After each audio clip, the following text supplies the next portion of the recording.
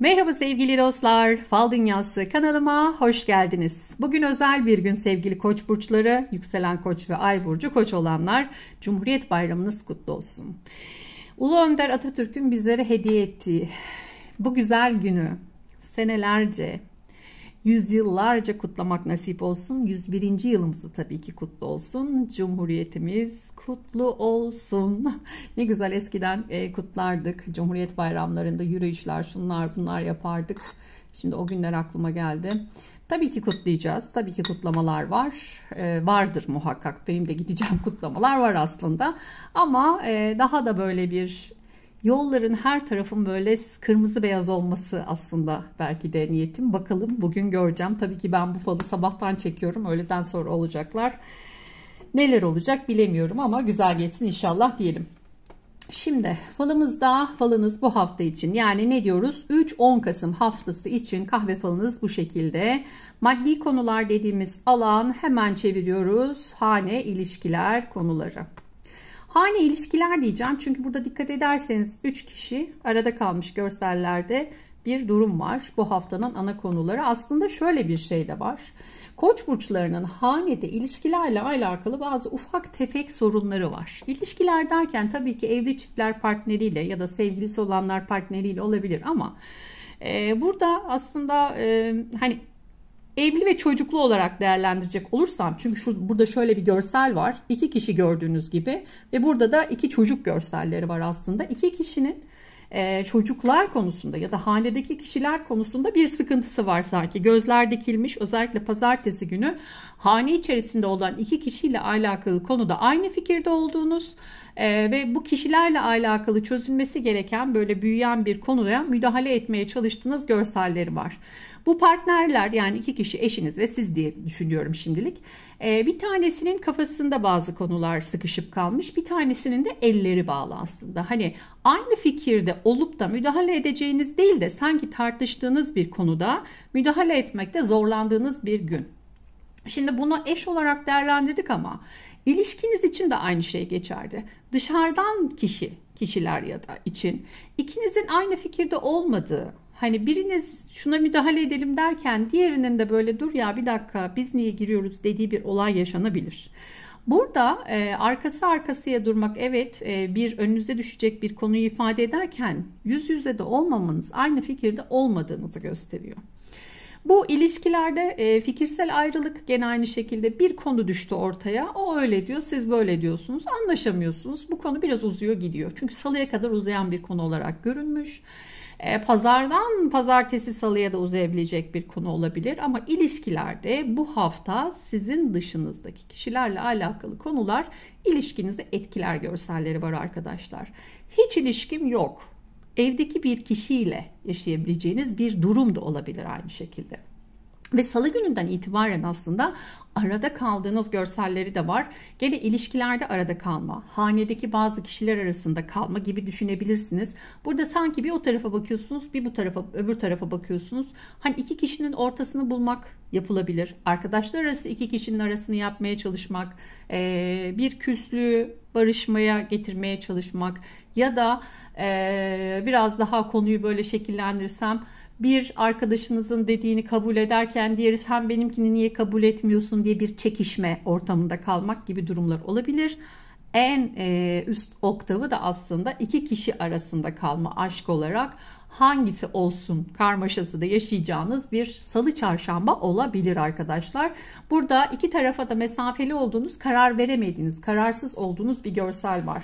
Hiç mi karar veremeyeceğim? Yok karar vereceksiniz. Noktaya da koyacaksınız. Hayatınızdan bu konuları çıkartacaksınız. Ama o sanki böyle hafta başı itibariyle bir durumlar, bir mevzular önünüze düşecek.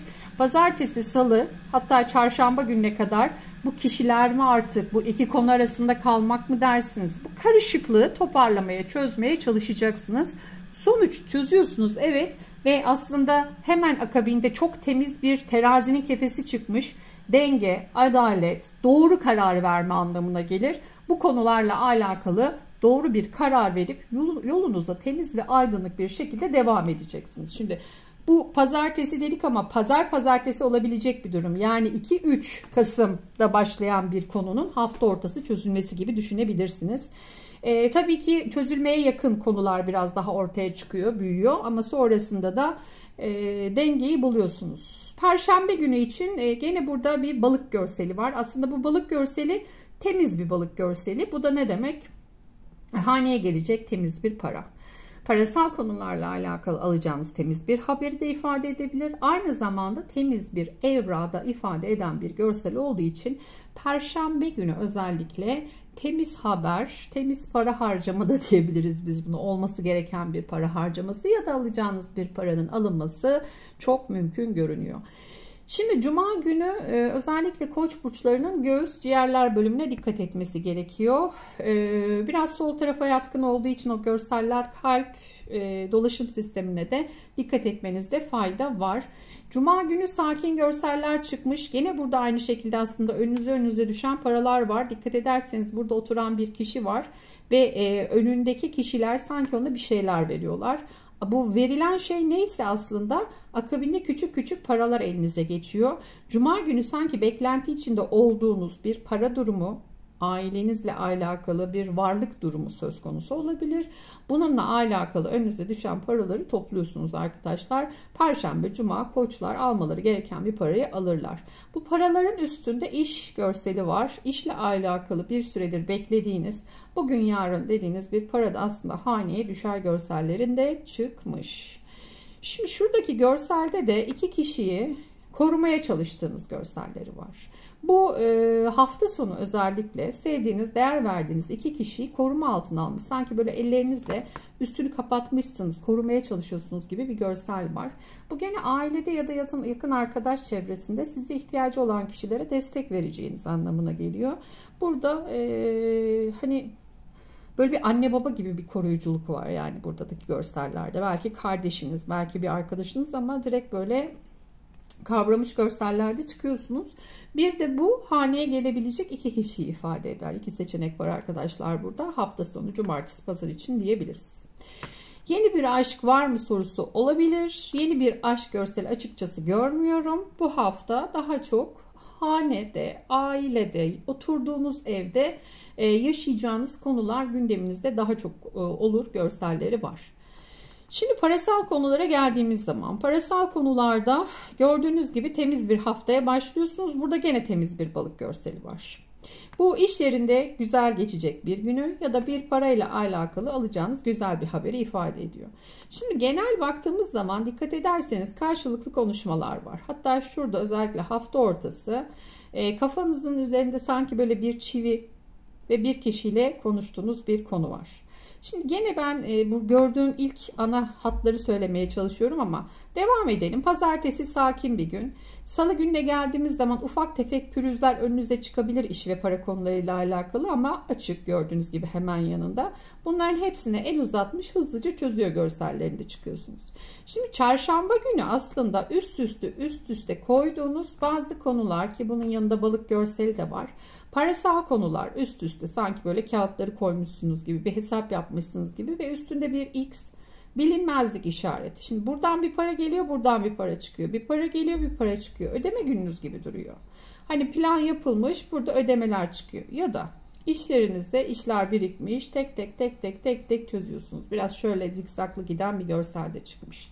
Ama çarşamba günü özellikle Kafanıza batan demek e, bir çivi ya da bir iğne görselinde çıkmış. Fikirsel anlamda duyacağınız bir duyum, bir konuşma, bir söz. Karşınızdaki kişi de koca kafalı görsellerinde çıkmış.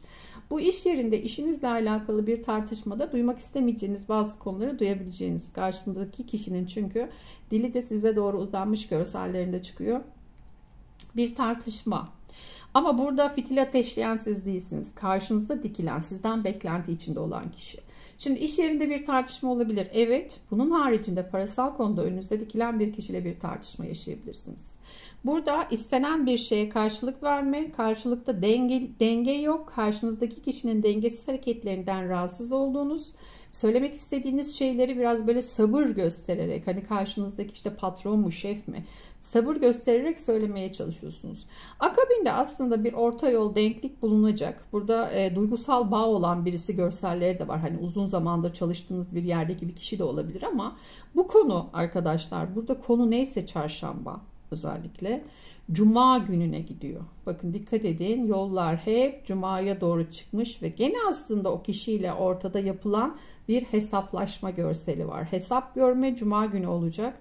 Ee, çarşambadan başlayan konular Cuma'ya akacak ve Cuma günü bir topluluğun içerisinde iki kişinin bir mevzuyu, bir konuyu çözmeye çalıştığı bu çözümün zorluklarla olduğu ki burada da bir S harfi Samsun'un S'si var. U harfi Urfa'nın U'su var. V harfi Van'ın V'si var. Kişilerde ya da sizde olabilir. Çevre kalabalığı içerisinde bir konuyu bir mevzuyu sonuçlandıracaksınız üstü temiz çıktığı için. Ama çevre çok kalabalık. Saymayayım diyeceğim ama 2, 4, 6, 8, 10, 12, 13 kişinin olduğu, 14 kişinin olduğu bir toplulukta sanki herkes bir araya gelmiş Hani bir konferans yapılıyor da iki kişinin konuşmaları, tartışmaları eğer sur sağlanırsa herkes mutlu olacakmış gibi bir görsel var. Bu aynı zamanda birçok konuyu, birçok mevzuyu cumaya bırakacağınızı da ifade eder. Önünüz çok aydınlık yalnız dikkat ederseniz.